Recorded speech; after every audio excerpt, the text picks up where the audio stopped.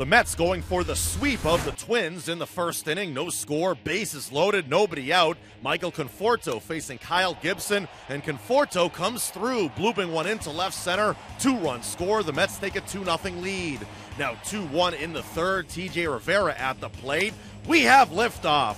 A solo blast, his second of the season. That makes it 3 1 Mets. In the fourth, Gabriel Ynoa on the mound, looking good. Strikes out the side. Ynoa would go four and two thirds innings, fanning eight overall. Now 3 1 in the eighth. The Twins get a little closer. Fernando Salas facing Kenny Vargas. That's a no doubter to right center, number eight on the season, trimming the lead to 3 2. Still in the eighth, on comes Jerry Blevins, man on third, two outs. He gets pinch hitter Eduardo Escobar to pop out to end the inning.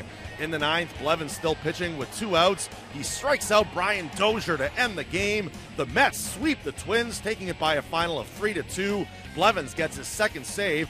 Yoenis Cespedes had to leave the game after the sixth inning due to dizziness and nausea. Up next, the Mets host the Braves Monday, and the Twins welcome the Tigers on Tuesday.